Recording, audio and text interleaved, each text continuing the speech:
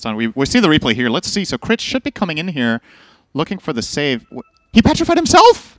He misclicked! Oh, no.